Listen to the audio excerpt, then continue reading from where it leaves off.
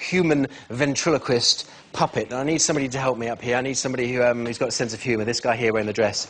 You, um, you seem to have a sense of humour. What's your name, sir? Steve. Steve, would you mind standing up, Steve? Walk this way, and the audience will go mad with applause.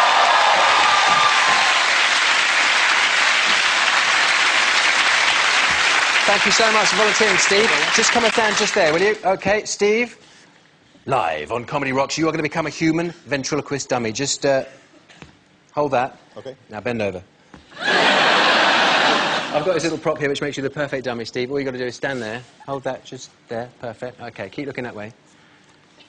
What I'm going to do is pop this. Head up.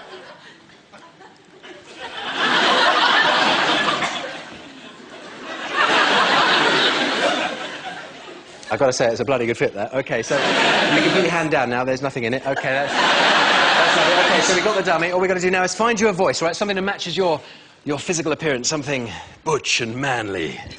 Are you okay? Yes, I am.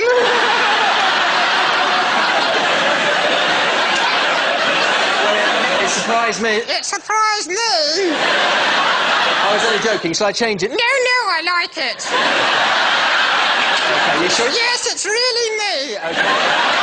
Well. We need, to, uh, we need to find you a name. Yes, a name. We need to find you a name that suits your personality. Yes. A name that when people stop you on the street and say you were marvellous on that TV show the other night, right? What name would you like everyone to call you? Bearing in mind, of course, that some of the people you're here with tonight, they might be calling this name for a little bit longer than just tonight.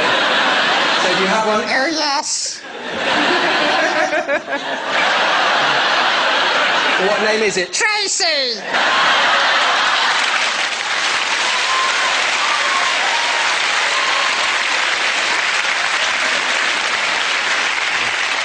Okay, so so we know your name. Yes. Okay, but we don't know anything more about you. So what do you do for a living? Well, you won't believe this. What? But I'm actually a ventriloquist. You're a ventriloquist. Yes. Would you do something for us tonight? Yes, of course. Okay. You're going to talk without moving your lips. That's right, yes. Go for it. Okay, I am right now. Look at that.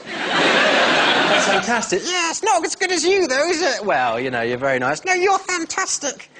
That's very... You should have your own show. Well, really, you should. Uh, you should stop now. Is there anything else you do? Yes, I'm not just a ventriloquist. Really? No, no.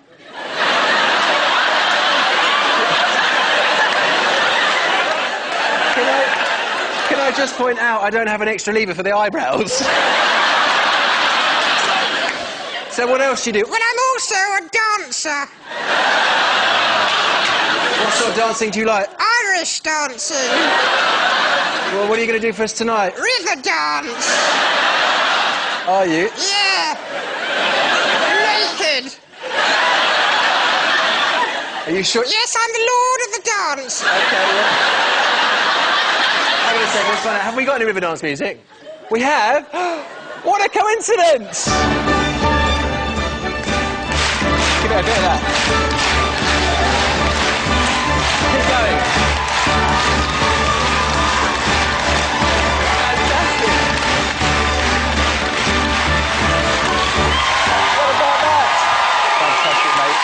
I've got to...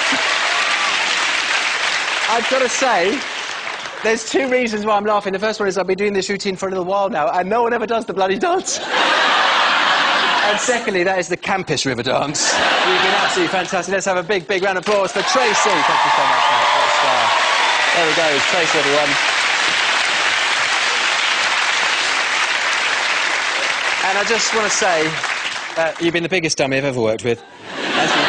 You've been absolutely lovely. Enjoy the rest of your night. From me, Paul Zerdin, good night.